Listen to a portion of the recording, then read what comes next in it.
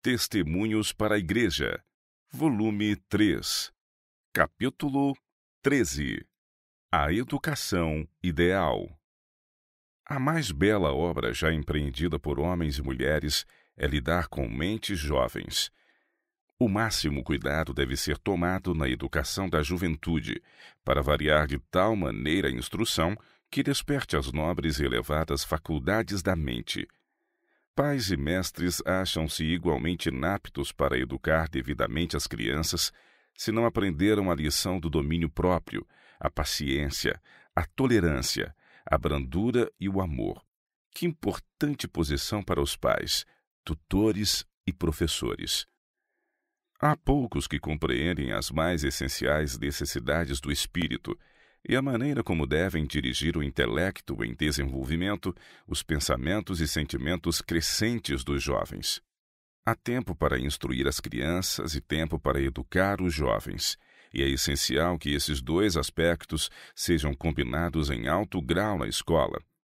As crianças podem ser preparadas para o serviço do pecado ou para o serviço da justiça. A educação em tenra idade molda-lhes o caráter tanto na vida secular como na religiosa. Diz Salomão: Instrui ao menino no caminho em que deve andar, e até quando envelhecer, não se desviará dele. Provérbios capítulo 22, verso 6. Esta linguagem é positiva. O ensino recomendado por Salomão é dirigir, educar e desenvolver. Para que os pais e mestres façam essa obra, devem eles próprios compreender o caminho em que a criança deve andar. Isso abrange mais que mero conhecimento de livros. Envolve tudo quanto é bom, virtuoso, justo e santo. Compreende a prática da temperança, da piedade, bondade fraternal e amor para com Deus e de uns para com os outros. A fim de atingir esse objetivo, é preciso dar atenção à educação física, mental, moral e religiosa da criança. A educação da criança em casa ou na escola não deve ser como o ensino dos mudos animais, pois as crianças têm vontade inteligente, a qual deve ser dirigida de maneira a reger todas as suas faculdades. Os mudos animais devem ser treinados pois não possuem razão nem inteligência. À mente humana, porém, deve ser ensinado o domínio próprio. Ela deve ser educada a fim de governar o ser humano, ao passo que os animais são governados por um dono e ensinados a ser-lhe submissos. O dono é mente, juízo e vontade para o animal. Uma criança pode ser ensinada de maneira a não ter vontade própria, assim como o animal. Sua individualidade pode emergir na da pessoa que lhe dirige o ensino. Sua vontade, para todos os intentos e desígnios, está sujeita à vontade de seu mestre. As crianças assim educadas são sempre deficientes em força moral e responsabilidade como indivíduos. Não foram ensinadas a agir movidas pela razão e por princípios. Sua vontade foi controlada por outros e a mente não foi desafiada a expandir-se e fortalecer-se pelo exercício. Não foram dirigidas e disciplinadas quanto à sua constituição peculiar e à capacidade mental, de modo a desenvolverem as mais vigorosas faculdades da mente quando necessário. Os professores não devem parar aí, mas dar atenção especial ao cultivo das faculdades mais fracas, para que todas sejam exercitadas e levadas de um a outro grau de vigor, a fim de que a mente atinja as devidas proporções. Há muitas famílias com crianças que parecem bem educadas enquanto se encontram sob a disciplina. Porém, quando o sistema que as ligou a certas regras se rompe, parecem incapazes de pensar, agir ou decidir por si mesmas. Essas crianças estiveram por tanto tempo sob uma regra de ferro, sem permissão de pensar e agir por si mesmas, naquilo em que era perfeitamente próprio que o fizessem, que não têm confiança em si mesmas para procederem segundo seu discernimento, tendo opinião própria. E quando saem de sob a tutela dos pais para agirem por si mesmas, são facilmente levadas pelo discernimento de outros a direções errôneas não têm estabilidade de caráter. Não foram deixadas em situação de usarem o próprio juízo, na medida do possível, Portanto, a mente não foi devidamente desenvolvida e fortalecida. Foram por tanto tempo inteiramente controladas pelos pais, que dependem totalmente deles. Estes são mente e discernimento para elas. Por outro lado, os jovens não devem ser deixados a pensar e proceder independentemente do juízo de seus pais e mestres. As crianças devem ser ensinadas a respeitar o juízo da experiência e serem guiadas pelos pais e professores.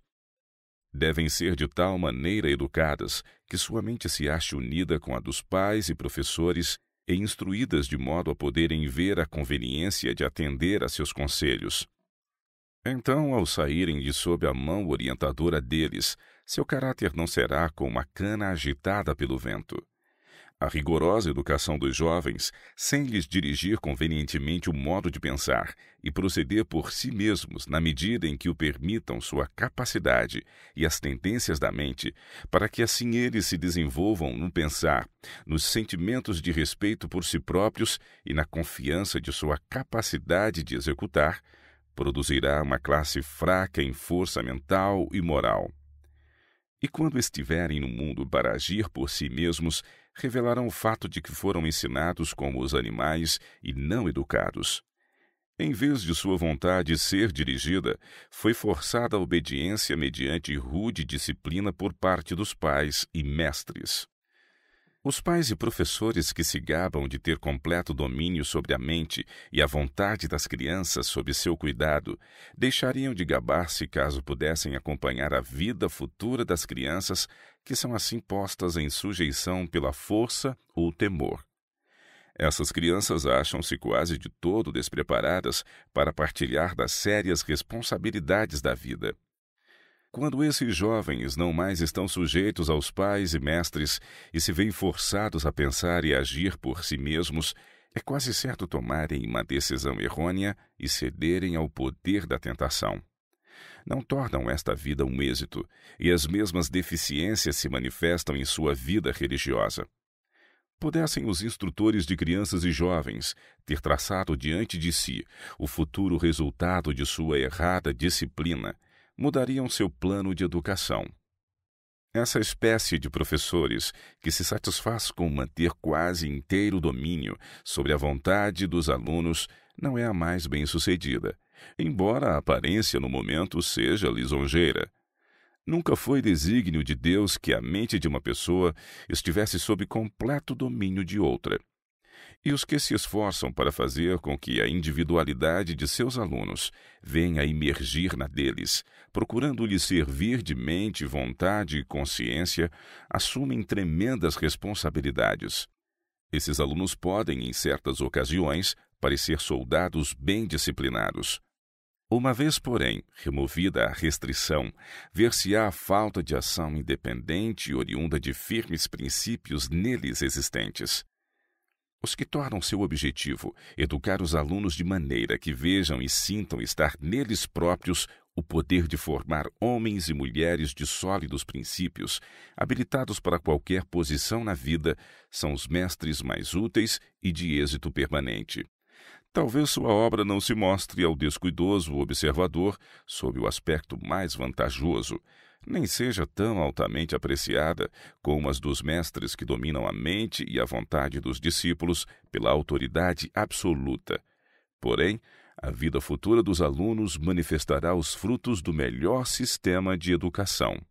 Há perigo de os pais e os professores comandarem e ditarem demasiadamente, ao passo que falham em manter adequadamente um relacionamento social com os filhos e alunos mantêm-se com frequência muito reservados e exercem sua autoridade de maneira fria, destituída de simpatia e que não pode atrair o coração dos educandos. Caso reunissem as crianças bem junto a si, mostrassem que as amam, manifestassem interesse em todos os seus esforços, mesmo em seus esportes, tornando-se por vezes uma criança entre elas, dar-lhes-iam muita satisfação e lhes granjeariam o amor e a confiança. E mais depressa, as crianças respeitariam e amariam a autoridade dos pais e mestres.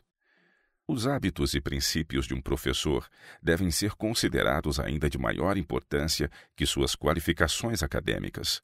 Se ele é um cristão sincero, sentirá a necessidade de manter interesse igual na educação física, mental, moral e espiritual de seus discípulos. A fim de exercer a devida influência, o professor deve ter perfeito domínio sobre si mesmo e seu próprio coração deve estar cheio de amor para com os alunos, amor que se manifestará em sua expressão, nas palavras e nos atos. Ele precisa ter firmeza de caráter, e então poderá moldar a mente dos alunos da mesma maneira que os instruir nas ciências. A primeira educação dos pequenos molda-lhes em geral o caráter para a vida. Os que lidam com os jovens devem ser muito cuidadosos em despertar as qualidades mentais, a fim de melhor saberem como lhes dirigir as faculdades para serem exercitadas da maneira mais proveitosa. Rigoroso confinamento na escola. O sistema de educação mantido por gerações passadas tem sido destrutivo para a saúde e até para a própria vida. Muitas crianças têm passado cinco horas por dia em salas de aula mal ventiladas, sem suficiente espaço para a saudável acomodação dos alunos. O ar dessas salas logo se torna veneno para os pulmões que o inalam. Crianças pequenas cujos membros e músculos não são fortes e cujo cérebro ainda não se acha desenvolvido têm sido mantidas em ambientes fechados para dano seu. Muitas não têm senão escassa reserva com que começar a vida, e o confinamento na escola dia a dia torna-as nervosas e doentes. Seu corpo é impedido de crescer em virtude da exausta condição de seu sistema nervoso. E se a lâmpada da vida se apaga, os pais e os mestres não consideram haver tido qualquer influência direta em extinguir a centelha de vida. Ao acharem-se junto à sepultura dos filhos, os aflitos pais consideram esse golpe como especial determinação da providência, quando, por indesculpável ignorância, foi seu procedimento que destruiu a vida dos filhos. Culpar, pois, a providência por tais mortes é blasfêmia. Deus queria que os pequeninos vivessem e fossem disciplinados, a fim de poderem possuir belo caráter, glorificando-o neste mundo e louvando-o naquele outro melhor.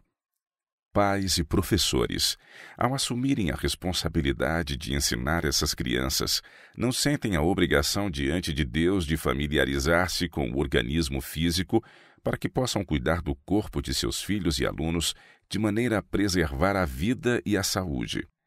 Milhares de crianças morrem em virtude da ignorância de pais e professores. Há mães que gastam horas e horas em trabalho desnecessário com as próprias roupas e as de seus filhos, com o propósito de ostentação, e alegam então que não dispõem de tempo para ler e obter a informação necessária para cuidar da saúde de seus filhos. Acham mais fácil confiar o corpo deles aos cuidados dos médicos. Muitos pais sacrificaram a saúde e a vida dos filhos para estarem de acordo com a moda e os costumes.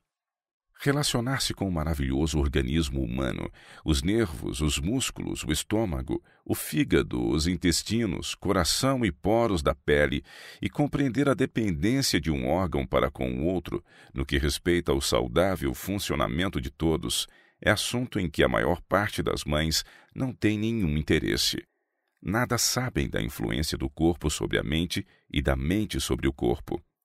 A mente que liga o finito ao infinito, elas parecem não compreender. Todo órgão do corpo foi feito para ser servo da mente. Esta é a capital do corpo. Permite-se às crianças comer carne, especiarias, manteiga, queijo, porco, ricas massas e condimentos em geral. É-lhes também permitido comer alimentos insalubres a horas irregulares e entre as refeições. Essas coisas fazem sua obra em desarranjar o estômago, estimulando os nervos a uma ação fora do natural e enfraquecendo o intelecto. Os pais não compreendem que estão lançando a semente que há de produzir doença e morte. Muitas crianças foram arruinadas para a vida em razão de se exigir demais do intelecto e negligenciar fortalecer o físico. Muitos têm morrido na infância devido ao procedimento seguido por pais e professores imprudentes que forçaram o intelecto por lisonja ou temor quando essas crianças eram demasiado novas para verem o interior de uma escola. Sua mente foi sobrecarregada com lições quando não deviam ser forçadas, antes contidas até que a constituição física estivesse suficientemente forte para suportar esforço mental. As criancinhas devem ser deixadas tão livres como cordeiros a correr ao ar livre, soltas e felizes, dando-se-lhes as melhores oportunidades de lançarem bases para uma constituição sadia. Os pais devem ser os únicos mestres dos filhos até que eles cheguem à idade de oito ou dez anos. Assim que a mente lhes permita compreendê-lo, cumpre aos pais abrir diante deles o grande livro divino da natureza. A mãe deve ter menos amor pelo artificial em casa e no preparo de vestidos para ostentação e tomar tempo para cultivar em si mesma e em seus filhos o amor dos belos botões e flores a desabrochar chamando a atenção dos filhos às diferentes cores e variadas formas, pode relacioná-los com Deus, que fez todas as belas coisas que os atraem e deliciam. Pode levar-lhes a mente ao Criador e despertar nos tenros corações a afeição para com o Pai Celeste, que manifestou por eles tão grande amor. Os pais podem associar Deus com todas as obras de sua criação. A única sala de aula para as crianças de 8 a 10 anos deve ser ao ar livre, entre as flores a desabrochar e os belos cenários da natureza. Seu único livro de estudo deveriam ser os tesouros da natureza. Essas lições gravadas na mente das tenras crianças por entre as agradáveis e atrativas cenas campestres jamais serão esquecidas. Para que as crianças e os jovens tenham saúde, alegria, vivacidade, músculos e cérebro bem desenvolvidos, convém que estejam muito ao ar livre e tenham divertimentos e ocupações bem orientados. Crianças e jovens mantidos na escola e presos aos livros não podem possuir sã constituição física o exercício do cérebro no estudo, sem exercício físico correspondente, tende a atrair o sangue à cabeça, ficando desequilibrada a circulação sanguínea através do organismo. O cérebro fica com muito sangue e os membros com muito pouco. Deve haver regras que limitem o estudo das crianças e jovens a certas horas, sendo depois uma porção do tempo dedicada ao trabalho físico. E se os seus hábitos de comer, vestir e dormir estiverem em harmonia com as leis físicas, poderão educar-se sem sacrificar a saúde física e mental. Decadência física do ser humano. O livro de Gênesis apresenta um relato bem definido da vida social e individual, e todavia não temos notícia de alguma criança que nascesse cega, surda, aleijada, deformada ou imbecil não é mencionado um só caso de morte natural na infância, meninice ou juventude. Não há relato algum de homens e mulheres vitimados por doenças. Os obituários no livro de Gênesis declaram o seguinte: E foram todos os dias que Adão viveu novecentos e trinta anos e morreu. Gênesis capítulo 5, verso 5. E foram todos os dias de sete a novecentos e doze anos e morreu. Gênesis capítulo 5, verso 8. Com referência a outros, diz o relato: Morreu em boa velhice, velho e farto de dias. Gênesis capítulo 25, verso 8. Era tão raro morrer um filho antes de seu pai, que tal acontecimento foi considerado digno de menção. E morreu Arã estando seu pai Terá ainda vivo. Gênesis capítulo 11, verso 28. Arã já era pai ao tempo de sua morte. Deus dotou o homem de tão grande força vital que ele tem resistido ao acúmulo de doenças lançadas sobre a humanidade em consequência de hábitos pervertidos e tem sobrevivido por seis mil anos.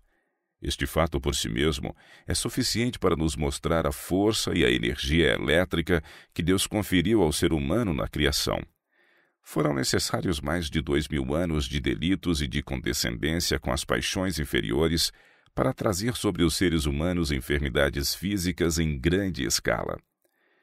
Se Adão, ao ser criado, não houvesse sido dotado de vinte vezes maior vitalidade do que os homens possuem agora, a humanidade, com seus atuais métodos de vida, que constituem uma violação da lei natural, já estaria extinta. Por ocasião do primeiro advento de Cristo, o ser humano degenerara tão rapidamente que um acúmulo de doenças pesava sobre aquela geração, suscitando uma torrente de aflição e uma carga de sofrimento indescritível. Tem-me sido apresentada a deplorável condição do mundo no tempo atual. Desde a queda de Adão, a humanidade tem estado degenerando.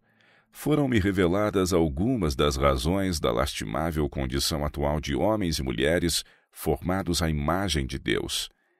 E o sentimento de quanto será necessário fazer para deter, mesmo que em pequena escala, a decadência física, mental e moral, fez com que o meu coração ficasse pesaroso e abatido.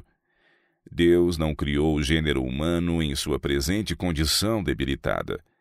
Este estado de coisas não é obra da providência, mas do homem, e tem sido ocasionado por maus hábitos e abusos, pela violação das leis que Deus estabeleceu para governar a existência humana.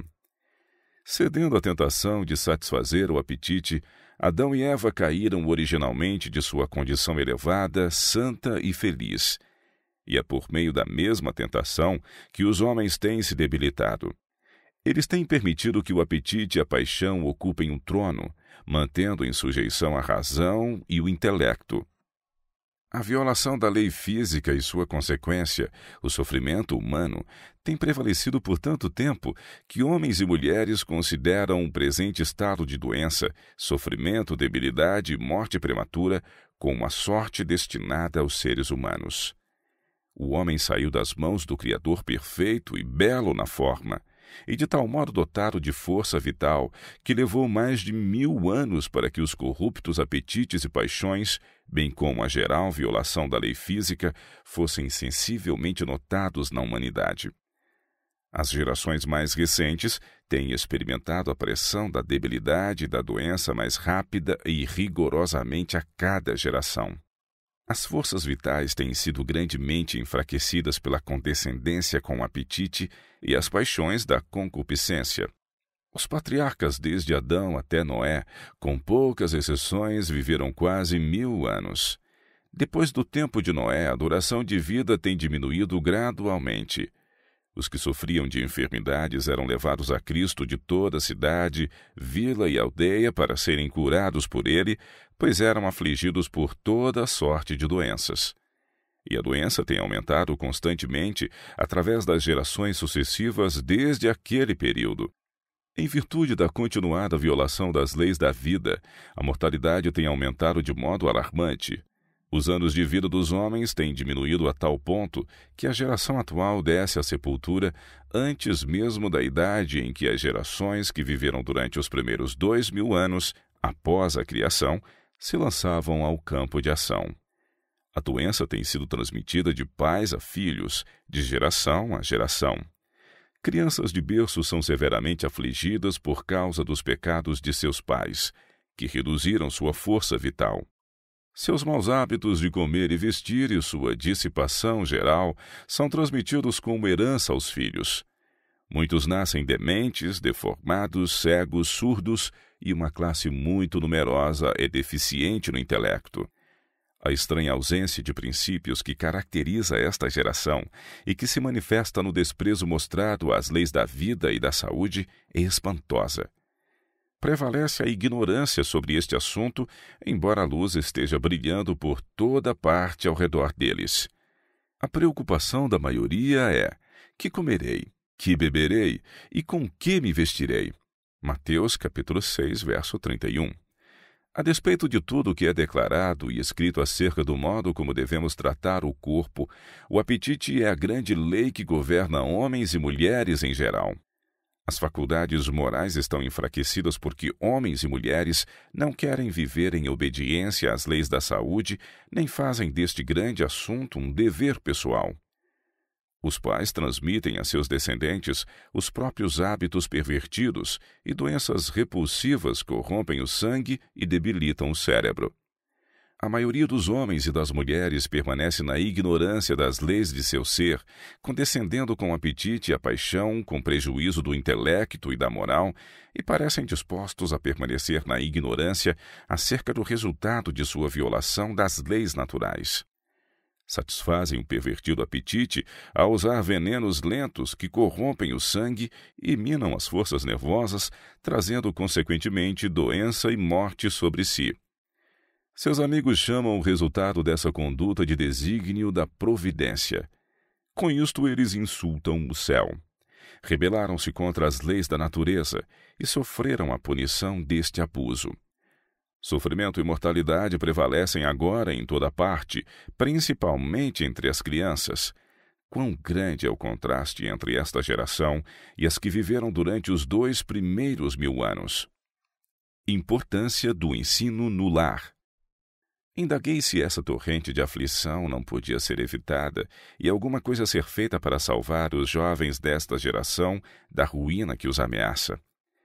Foi-me mostrado que uma grande causa do deplorável estado de coisas existente é que os pais não se sentem na obrigação de criar os filhos em conformidade com as leis físicas. As mães amam os filhos com amor idólatra e condescendem com o apetite deles quando sabem que isso é nocivo à saúde, trazendo assim sobre eles doenças e infelicidade. Esta cruel bondade manifesta-se em grande escala na geração atual. Os desejos das crianças são satisfeitos à custa da saúde e da boa disposição, porque é mais fácil para a mãe, no momento, satisfazê-las do que negar aquilo que elas exigem. Assim semeiam elas próprias a semente que brotará e dará frutos, as crianças não são educadas a renunciar ao apetite e restringir os desejos, e tornam-se egoístas, exigentes, desobedientes, ingratas e profanas. As mães que estão fazendo esta obra colherão com amargura o fruto da semente por elas lançada. Pecaram contra o céu, contra os próprios filhos, e Deus as considerará responsáveis. Se gerações atrás a educação houvesse sido dirigida por plano inteiramente diverso, a juventude de hoje não seria tão depravada e inútil. Os diretores e professores das escolas teriam sido pessoas que conhecessem fisiologia e tivessem interesse não somente em educar os jovens nas ciências, mas em ensinar-lhes a maneira de conservar a saúde, de modo a empregarem da melhor maneira os conhecimentos adquiridos. Ligados às escolas, deve haver estabelecimentos que desenvolvam vários ramos de trabalho, a fim de os estudantes terem ocupação e o necessário exercício fora das horas de estudo.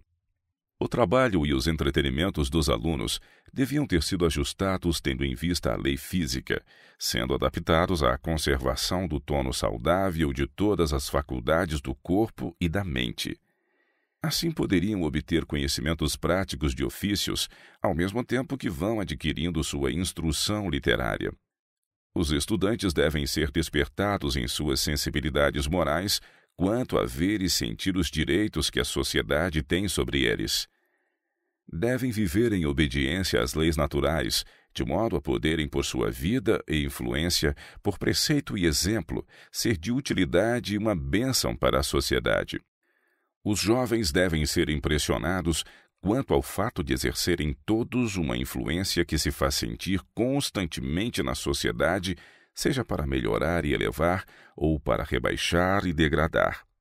O primeiro estudo dos jovens deve ser conhecer a si mesmos e conservar o corpo são. Muitos pais conservam os filhos na escola quase o ano inteiro. Essas crianças seguem automaticamente a rotina do estudo, mas não retêm o que estudam. Muitos desses estudantes contínuos parecem quase destituídos de vida intelectual. A monotonia do estudo contínuo fatiga a mente e pouco é o interesse que tomam nas lições, e para muitos torna-se penosa a aplicação aos livros. Não têm íntimo amor pelo pensar, nem ambição de adquirir conhecimentos. Não estimulam em si mesmos hábitos de reflexão e pesquisa. As crianças precisam grandemente de educação apropriada, a fim de serem úteis ao mundo. Qualquer esforço, porém, que exalte a cultura intelectual acima da educação moral é mal dirigido. Instruir, cultivar, polir e refinar jovens e crianças deve ser a principal preocupação de pais e mestres. São poucos os que raciocinam de modo concentrado e os que pensam de maneira lógica, em razão de haverem falsas influências atrapalhado o desenvolvimento do intelecto. A suposição de pais e professores de que o estudo contínuo fortaleceria o intelecto tem se mostrado errônea, pois em muitos casos o efeito tem sido exatamente contrário.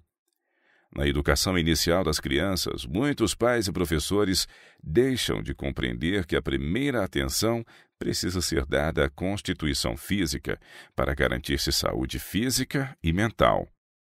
Tem sido costume incentivar crianças a frequentar a escola quando são simples bebês necessitando dos cuidados maternos.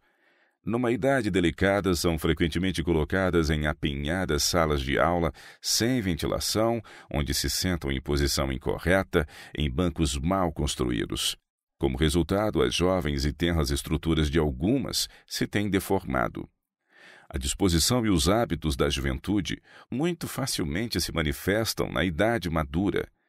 Você pode curvar uma árvore nova em quase qualquer forma que desejar. E se ela permanecer e crescer como a puser, será uma árvore deformada, denunciando sempre o dano e o maltrato recebido de suas mãos. Você pode, depois de anos de crescimento, tentar endireitá-la, mas todos os esforços se demonstrarão infrutíferos. Ela será sempre uma árvore torta. Tal é o caso com a mente infantil. As crianças devem ser cuidadosas e eternamente educadas na infância. Podem ser exercitadas na devida direção ou em direção errada, e em sua vida futura seguirão aquela em que foram dirigidas na juventude. Os hábitos então formados crescerão cada vez mais e cada vez mais se fortalecerão, e geralmente o mesmo ocorrerá na vida posterior, apenas se tornando sempre mais fortes. Vivemos numa época em que quase tudo é superficial. Há pouca estabilidade e firmeza de caráter, porque o ensino e a educação das crianças são superficiais desde o berço. O caráter delas é formado sobre a areia movediça, a abnegação e o domínio próprio não foram entretecidos em seu caráter. Foram mimadas e tratadas complacentemente até ficarem estragadas para a vida prática. O amor ao prazer domina a mente e as crianças são aduladas e favorecidas para sua ruína. As crianças devem ser de tal modo exercitadas e educadas que possam esperar tentações e contar com dificuldades e perigos devem ser ensinadas a ter domínio próprio e a vencer nobremente as dificuldades. Uma vez que não se precipitem voluntariamente para o perigo, colocando-se sem necessidade no caminho da tentação e evitem as más influências e as companhias viciosas, quando de maneira inevitável forem compelidas a estar em perigoso convívio, terão suficiente força de caráter para ficar ao lado do direito e manter o princípio saindo do poder de Deus com sua moral incontaminada. Se os jovens que foram devidamente educados puserem em Deus a confiança, sua força moral resistirá à mais severa prova. Poucos pais compreendem, porém, que seus filhos são o que seu exemplo e disciplina deles fizeram, e que são responsáveis pelo caráter desenvolvido pelos filhos. Se o coração dos pais cristãos estivesse sujeito à vontade de Cristo, obedeceriam à recomendação do Mestre Divino. Mas buscai primeiro o reino de Deus e a sua justiça, e todas essas coisas vos serão acrescentadas. Mateus capítulo 6, verso 33. Se os que professam seguir a Cristo tão somente fizessem isso, dariam não só a seus filhos, mas ao mundo incrédulo exemplos que representariam corretamente a religião da Bíblia.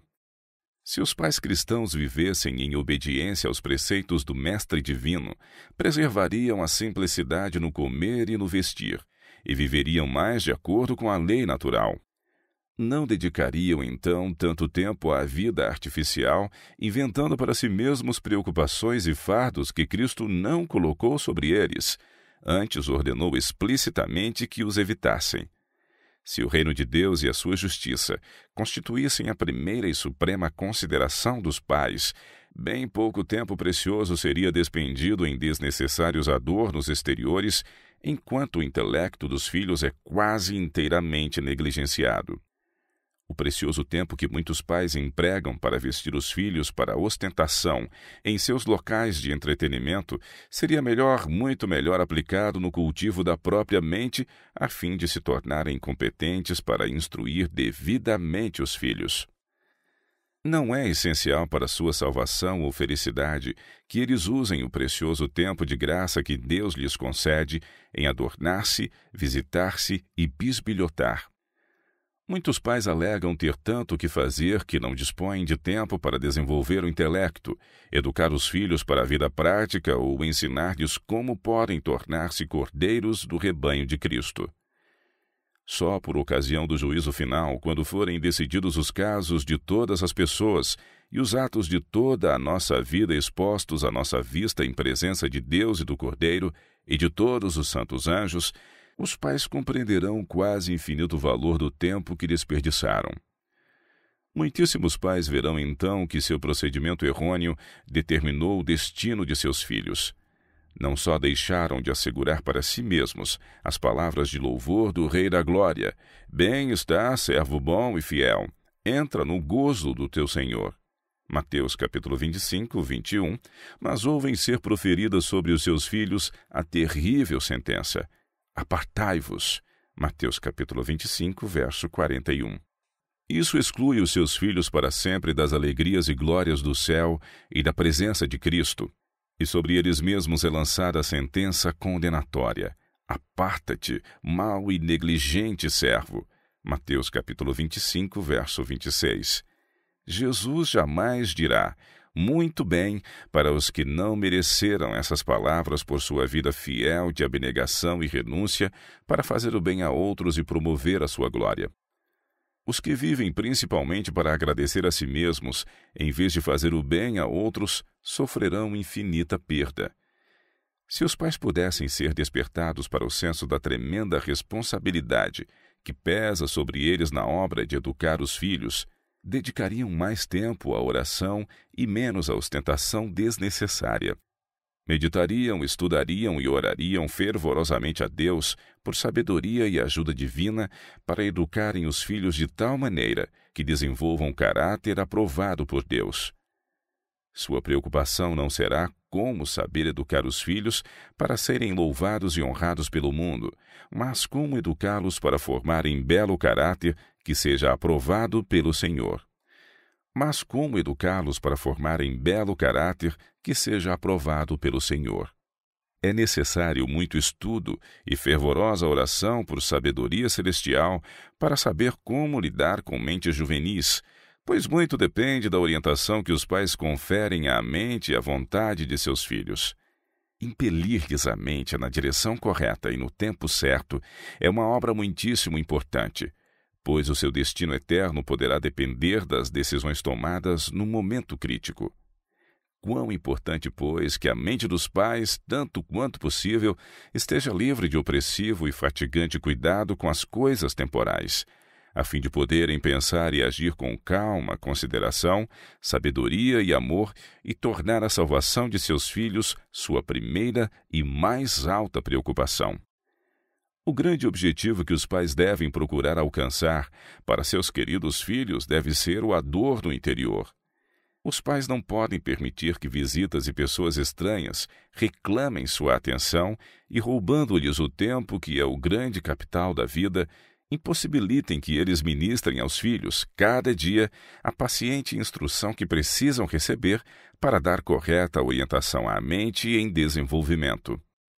A vida é muito curta para ser esbanjada em diversões inúteis e frívolas, em conversação sem proveito, em adornos desnecessários para ostentação ou em entretenimentos incitantes.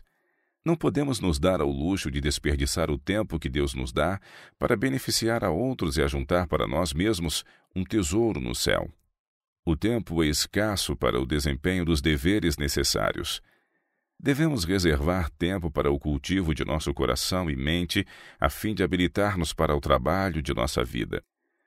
Negligenciando estes deveres essenciais e conformando-nos com os hábitos e costumes da sociedade mundana e seguidora da moda, causamos grande dano a nós mesmos e a nossos filhos. As mães que têm que disciplinar mentes juvenis e formar o caráter de seus filhos não devem procurar a agitação do mundo a fim de serem alegres e felizes. Têm um trabalho importante na vida, e nem elas nem os seus devem permitir-se despender tempo de modo inútil. O tempo é um dos valiosos talentos que Deus nos confiou e pelo qual nos faz responsáveis.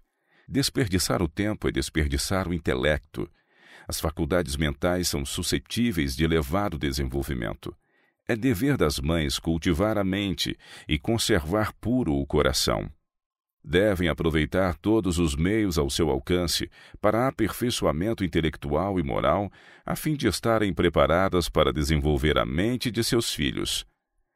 As que condescendem com a inclinação de estar em companhia de alguém logo ficarão impacientes se não estiverem fazendo ou recebendo visitas. Tais pessoas não possuem a faculdade de adaptação às circunstâncias. Os indispensáveis e sagrados deveres domésticos parecem comuns e desinteressantes para elas. Não lhes agrada o exame ou a disciplina própria. A mente anseia pelas variadas e empolgantes cenas da vida mundana os filhos são negligenciados por condescendência com a inclinação, e o anjo relator escreve: servas inúteis.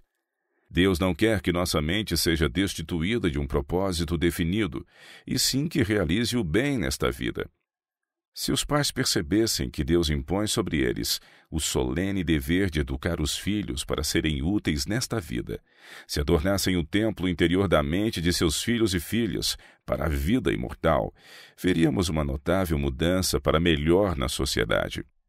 Então não seria manifestada tão grande indiferença para com a piedade prática, e não seria tão difícil despertar as sensibilidades morais dos filhos para compreenderem as reivindicações de Deus a seu respeito. Os pais tornam-se, porém, cada vez mais descuidados na educação de seus filhos nos ramos de utilidade.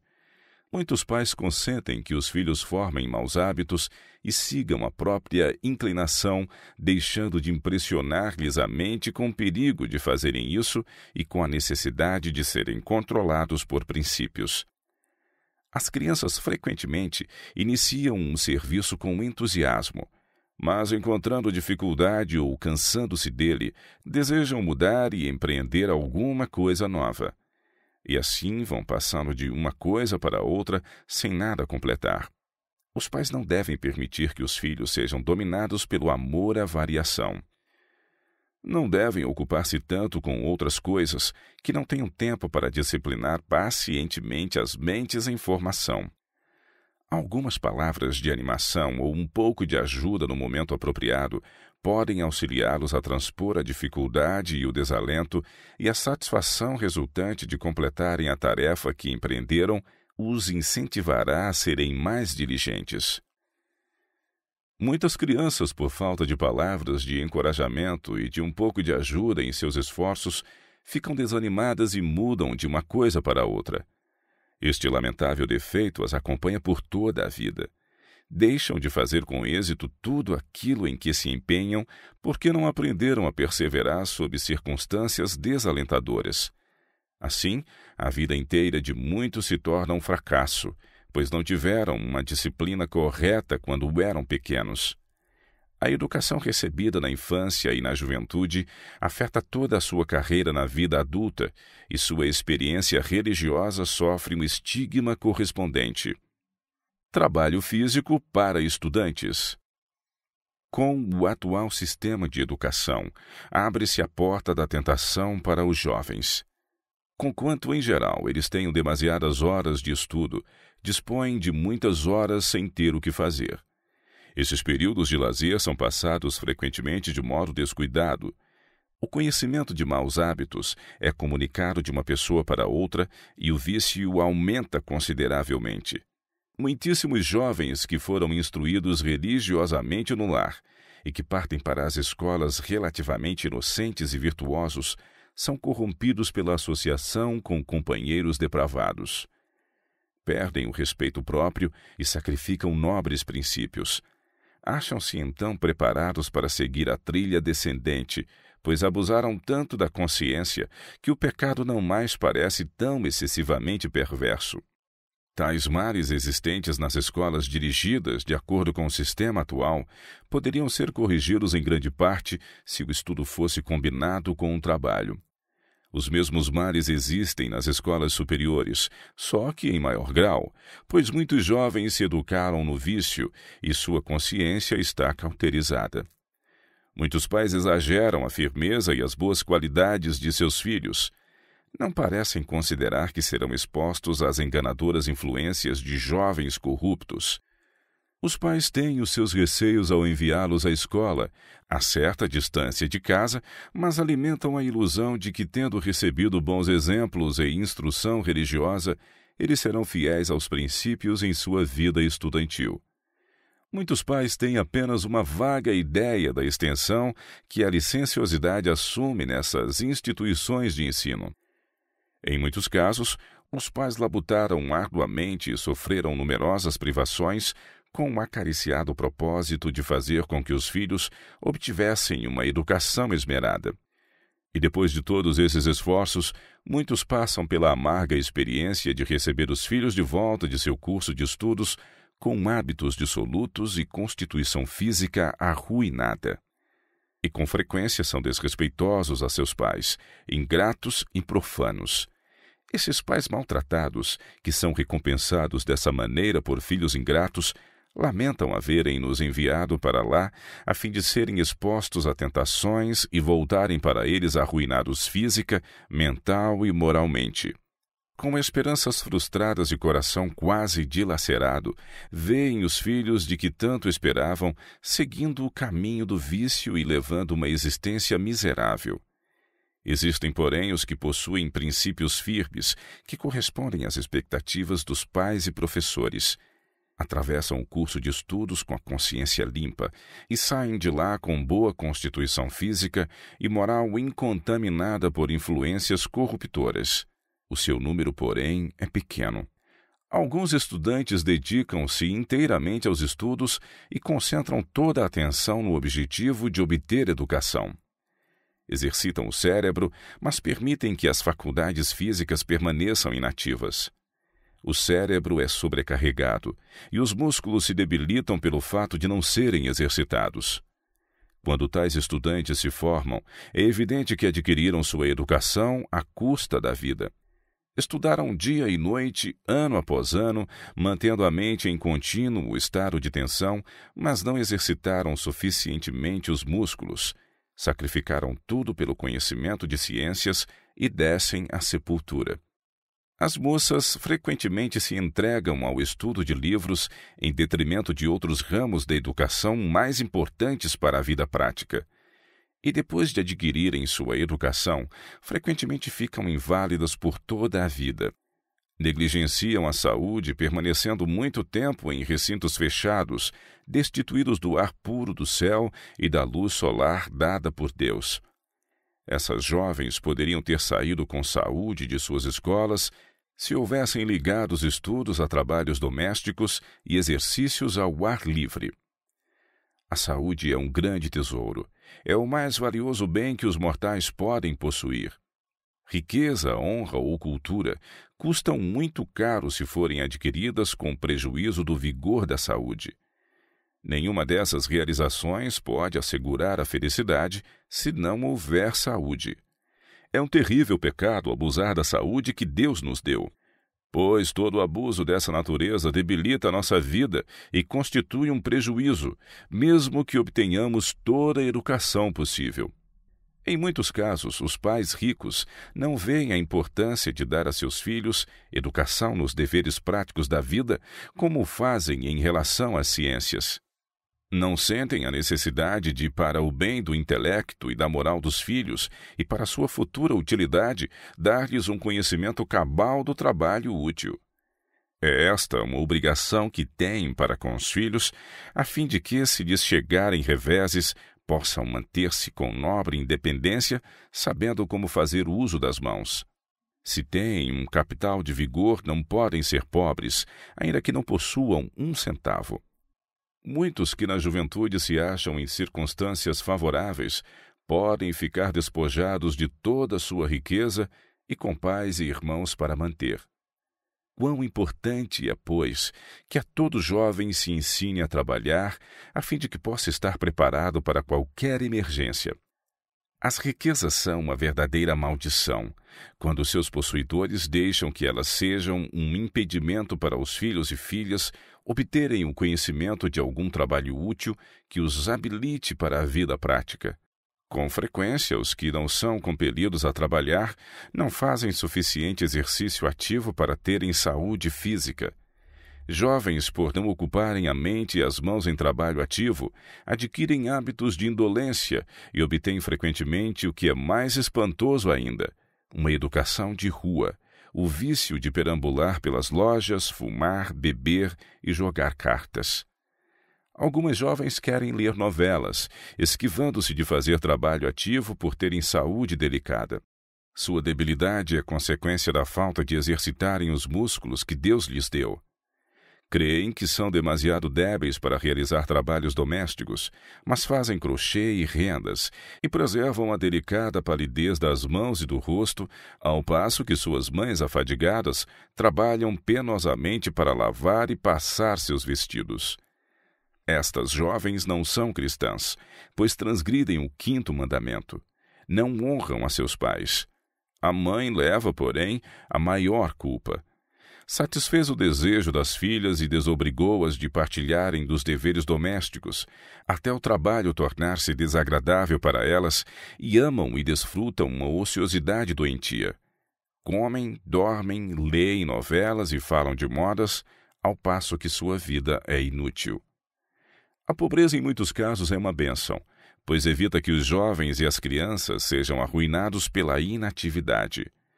Tanto as faculdades físicas como as mentais devem ser cultivadas e desenvolvidas devidamente. O primeiro e constante cuidado dos pais deve ser o de ver que os filhos tenham constituição vigorosa para que possam ser homens e mulheres sadios. É impossível alcançar este objetivo sem exercício físico. Para a própria saúde física e bem moral, as crianças devem ser ensinadas a trabalhar, mesmo que a necessidade não requeira. Se querem ter caráter puro e virtuoso, devem desfrutar da disciplina de um trabalho bem equilibrado que ponha em atividade todos os músculos. A satisfação das crianças por serem úteis e praticarem atos de abnegação para ajudar a outros será o prazer mais salutar que já experimentaram. Por que deveriam os ricos privar a si mesmos e a seus queridos filhos desta grande bênção? Pais, a inatividade é a maior maldição que já caiu sobre os jovens. Vocês não devem permitir que suas filhas permaneçam na cama até tarde, deixando que o sono dissipe as preciosas horas que Deus lhes concedeu para serem dedicadas aos melhores fins e pelas quais terão de prestar contas a Ele. A mãe causa um grande dano às filhas, levando as cargas que deveriam partilhar com ela para seu bem presente e futuro. A conduta seguida por muitos pais, ao permitir que os filhos sejam indolentes e satisfaçam seu desejo de ler novelas, incapacita-os para a vida real. A leitura de ficção e novelas é o maior mal a que podem entregar-se os jovens. As leitoras de novelas e histórias de amor sempre deixam de ser mães boas e práticas. Elas constroem castelos no ar e vivem num mundo irreal e imaginário. Tornam-se sentimentais e têm concepções doentias. Sua vida artificial tende a arruiná-las para tudo o que é útil. Têm a inteligência diminuída, embora nutram a ilusão de serem superiores em mentalidade e atitudes. Empenhar-se nos afazeres domésticos é o que há de mais vantajoso para as moças. O trabalho físico não impedirá o cultivo do intelecto. Longe disso. As vantagens obtidas pelo trabalho físico darão equilíbrio à pessoa e impedirão que se sobrecarregue a mente. O trabalho atuará sobre os músculos e aliviará o cérebro cansado. Há muitas jovens apáticas e inúteis que consideram pouco feminino ocuparem-se em trabalho ativo. Mas o seu caráter é por demais transparente para enganar as pessoas sensatas no tocante à sua verdadeira inutilidade.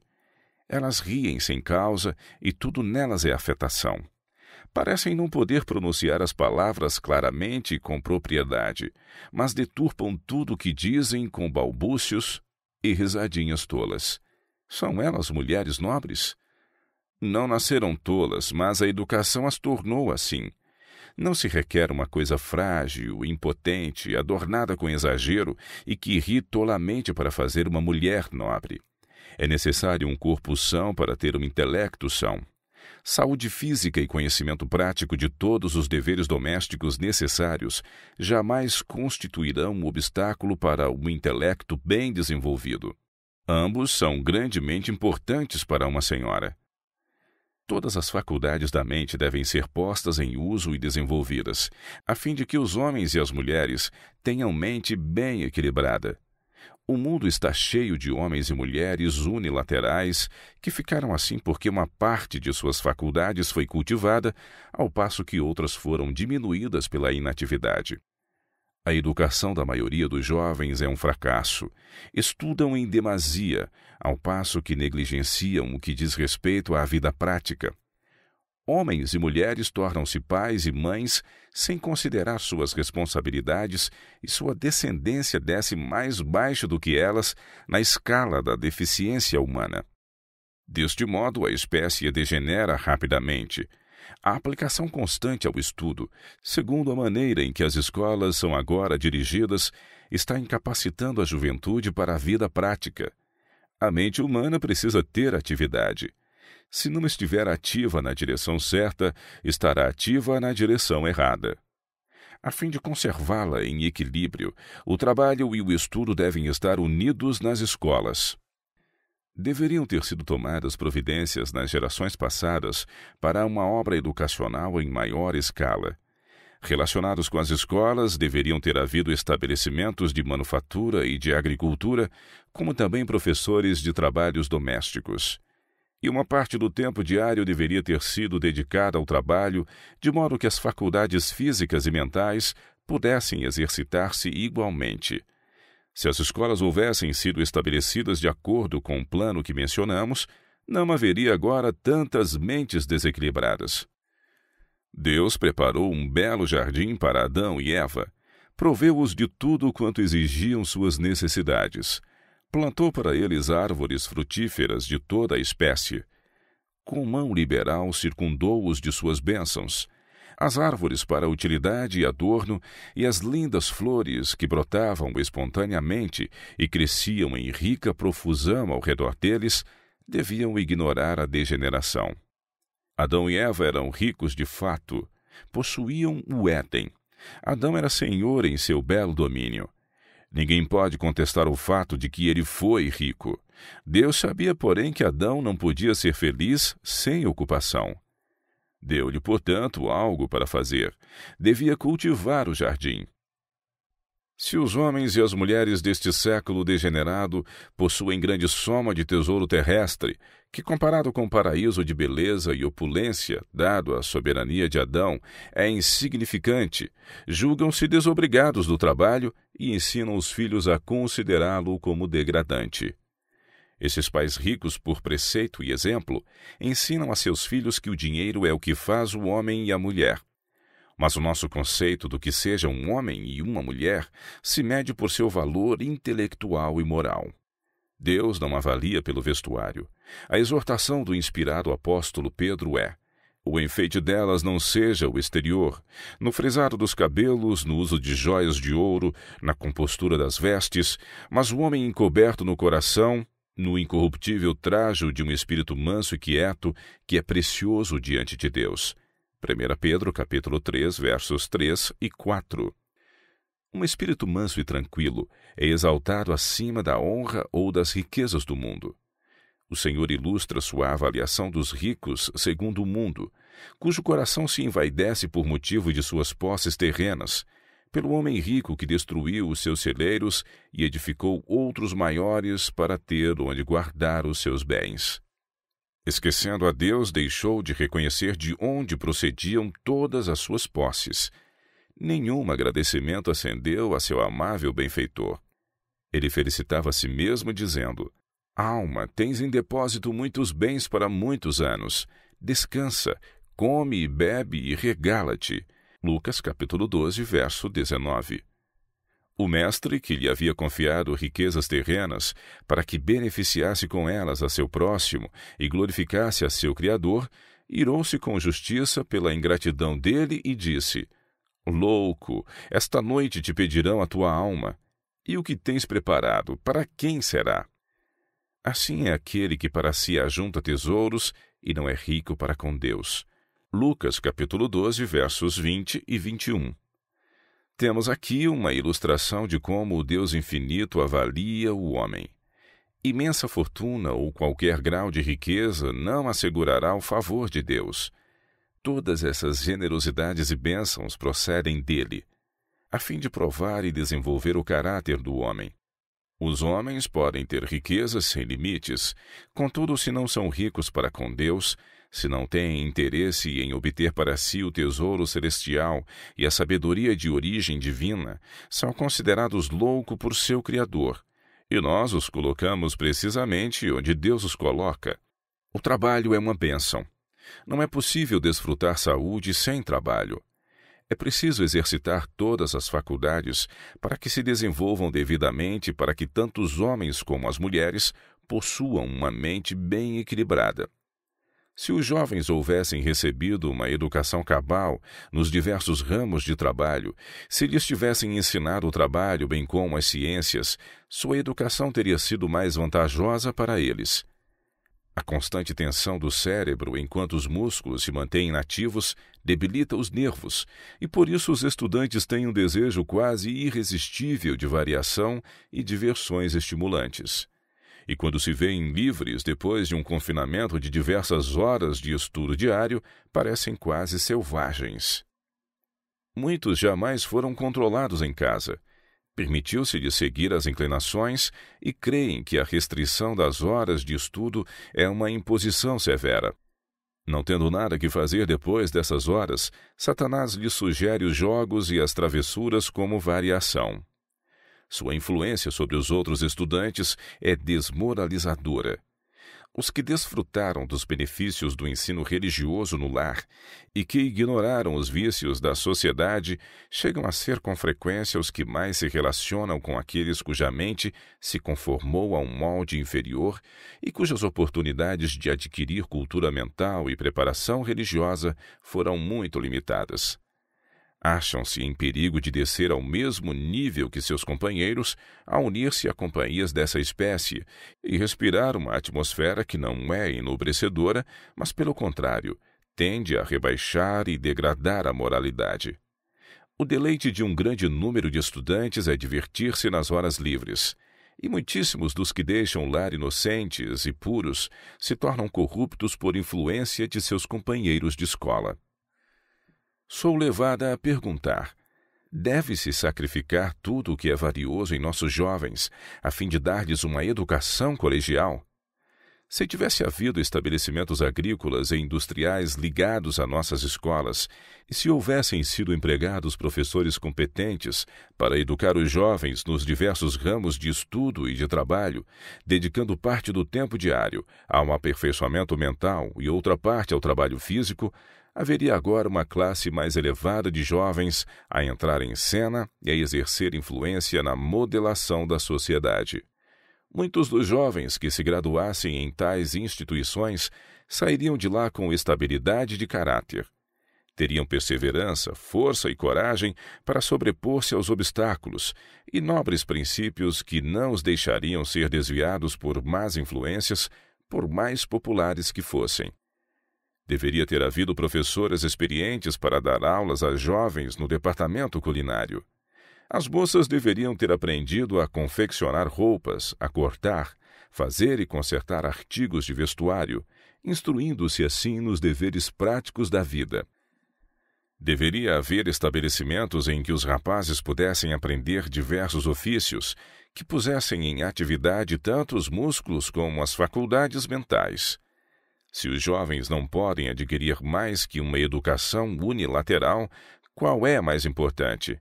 O conhecimento das ciências, com todas as suas desvantagens para a saúde e a vida, ou a aprendizagem do trabalho para a vida prática? Respondemos sem titubear. O último. Se um deles tiver de ser abandonado, que seja o estudo dos livros. Há muitas jovens casadas e com filhos que possuem bem pouco conhecimento prático dos deveres pertinentes a uma esposa e mãe. Leem e sabem tocar um instrumento musical, mas não sabem cozinhar. Não sabem fazer bom pão tão essencial para a saúde da família. Não sabem cortar e confeccionar vestidos, pois nunca aprenderam a fazê-lo. Consideravam estas coisas como não sendo essenciais e, em sua vida de casadas, são tão dependentes de outros para desfazerem essas coisas como são os próprios filhinhos. É esta indesculpável ignorância no tocante aos deveres mais imprescindíveis da vida que torna infelizes a muitíssimas famílias. O conceito de que o trabalho é degradante para a vida social levou para a sepultura milhares que poderiam haver vivido. Os que fazem unicamente trabalho manual labutam com frequência em excesso, sem períodos de descanso, ao passo que a classe intelectual sobrecarrega o cérebro e sofre por falta do saudável vigor proporcionado pelo trabalho físico. Se a classe intelectual quisesse partilhar até certo ponto do fardo da classe operária, fortalecendo assim os músculos, a classe operária poderia fazer menos e dedicar uma parte de seu tempo à cultura mental e moral. Os que se ocupam em atividades sedentárias e literárias devem fazer exercício físico mesmo que não necessitem trabalhar para viver. A saúde deve ser um incentivo suficiente para induzi-los a unir o trabalho físico ao mental.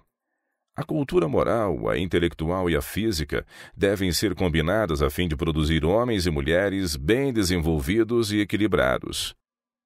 Alguns estão habilitados a realizar maior esforço intelectual que outros, ao passo que há pessoas inclinadas a amar e desfrutar o trabalho físico. Ambas essas classes devem procurar corrigir suas deficiências para poderem apresentar a Deus todo o ser como sacrifício vivo, santo e agradável a Ele, que é o seu culto racional. Romanos capítulo 12, verso 1. Os hábitos e costumes da sociedade amiga da moda não devem regular o seu modo de agir. O inspirado apóstolo Paulo acrescenta: E não vos conformeis com este mundo, mas transformai-vos pela renovação do vosso entendimento, para que experimenteis qual seja a boa, agradável e perfeita vontade de Deus. Romanos capítulo 12, verso 2. A mente de homens pensantes trabalha arduamente. Com frequência, eles usam suas faculdades mentais prodigamente, ao passo que há uma outra classe cujo mais elevado alvo na vida é o trabalho físico. Esta última classe não exercita a mente. Seus músculos são exercitados enquanto o cérebro fica privado da força intelectual. Da mesma maneira, a mente dos pensadores é trabalhada, enquanto o corpo lhes ficam sem forças nem vigor por negligenciarem o exercício dos músculos. Os que se contentam em devotar a vida ao trabalho físico e deixam que outros façam por eles a parte mental, enquanto simplesmente levam a cabo o que outros cérebros planejaram, terão força muscular, mas intelecto deficiente. Sua influência para o bem é pequena em comparação com o que poderiam fazer se usassem o cérebro como usam os músculos. Esta classe é vencida mais prontamente se atacada por enfermidade, visto que o organismo é vitalizado pela força elétrica do cérebro para resistir a doenças. Homens que têm boas faculdades físicas devem educar-se para pensar, bem como para agir, e não ficar na dependência de que outros sejam cérebro para eles. É erro popular por parte de uma grande classe considerar o trabalho coisa degradante Daí que os jovens se mostram ansiosos por educar-se a fim de se tornarem professores, clérigos, comerciantes, advogados, de modo que possam ocupar praticamente qualquer posição que não requeira esforço físico. Moças consideram o trabalho doméstico como humilhante, e embora o exercício físico requerido na realização de trabalho caseiro desde que não demasiado severo, destine-se a promover a saúde, preferem buscar a educação que as habilite como professoras ou secretárias, ou aprender alguma profissão que as confine no trabalho sedentário dentro de uma sala. O colorido da saúde desaparece-lhes da face e tornam-se vítimas da enfermidade, pois têm falta de exercício físico e pervertem os seus hábitos em geral. Tudo isto porque é moda. Apreciam a vida delicada que debilita e arruína. Na verdade, existem alguns motivos para que os jovens não decidam empregar-se em trabalhos domésticos, pois os que contratam pessoas para cozinheiras tratam-nas geralmente como servas. Seus patrões, com frequência, não respeitam e lidam com elas como se fossem indignas de ser membros de sua família. Não lhes dão os privilégios que concedem a costureira, a datilógrafa e a professora de música. Mas não pode haver melhor ocupação que os trabalhos domésticos. Cozinhar bem, apresentar sobre a mesa alimentos saudáveis de maneira atraente, requer inteligência e experiência. A pessoa que prepara o alimento a ser introduzido em nosso estômago, a fim de converter-se em sangue para nutrir o organismo, ocupa posição muito importante e elevada. A posição de datilógrafa, costureira ou professora de música não pode igualar-se em importância à da cozinheira. O que se disse acima é uma afirmação do que poderia ter sido feito mediante um sistema de educação apropriado. O tempo é agora demasiado curto para levar a cabo o que poderia ter sido realizado nas gerações passadas, mas podemos fazer muito, mesmo nestes últimos dias, para corrigir os males existentes na educação da juventude. E visto que o tempo é curto, devemos ser fervorosos e trabalhar zelosamente para dar aos jovens a educação compatível com nossa fé. Somos reformadores. Desejamos que nossos filhos estudem com maior proveito. A fim de realizar isto, é necessário dar-lhes uma ocupação que ponha os músculos em atividade. O trabalho diário e sistemático deve constituir uma parte da educação dos jovens, mesmo nesta época tardia. Pode-se ganhar muito agora associando-se o trabalho com as escolas. Seguindo este plano, os estudantes adquirirão elasticidade de espírito e vigor de pensamento, e serão capazes de executar mais trabalho mental em determinado tempo do que o fariam estudando somente e poderão sair da escola com a constituição física inalterada e com a força e coragem para perseverar em qualquer posição que lhes for designada pela providência divina. Visto que o tempo é breve, devemos labutar com diligência e redobrar a energia.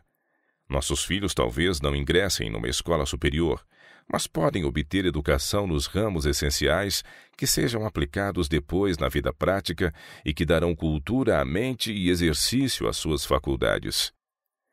Muitíssimos jovens que fizeram um curso superior não obtiveram aquela educação verdadeira que pudessem pôr em uso na vida prática.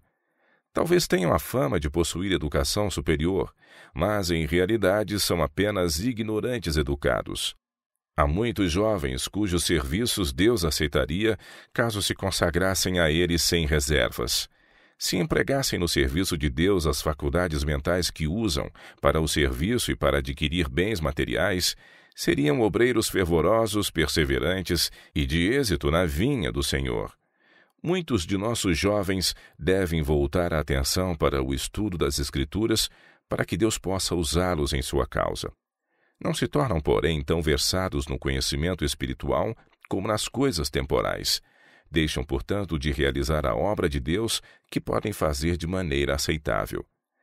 Há tão somente uns poucos para admoestar os pecadores e ganhar almas para Cristo, quando devia haver muitos.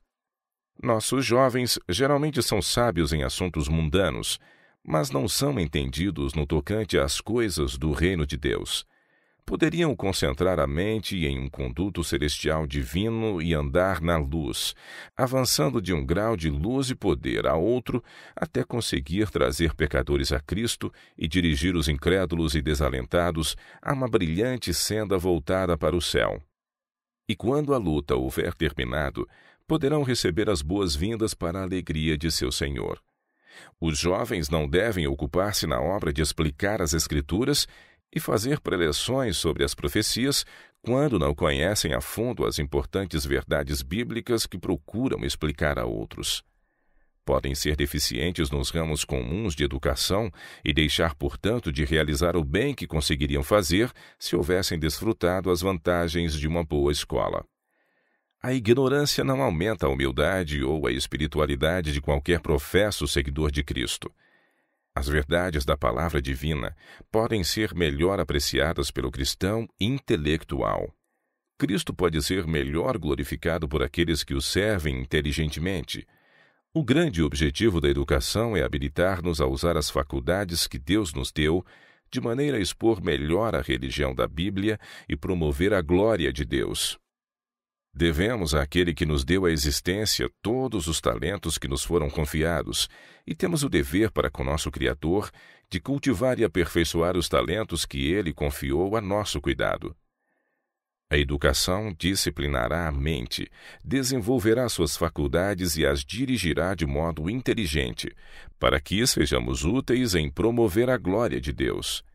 Necessitamos de uma escola na qual aqueles que entram no ministério possam pelo menos receber instrução nos ramos comuns de educação e onde aprendam também com mais perfeição as verdades da palavra de Deus para este tempo.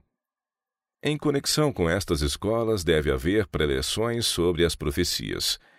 Os que realmente possuem boas aptidões que Deus aceitará para o trabalho em sua vinha receberiam grande benefício de uma instrução de apenas alguns meses em tais escolas.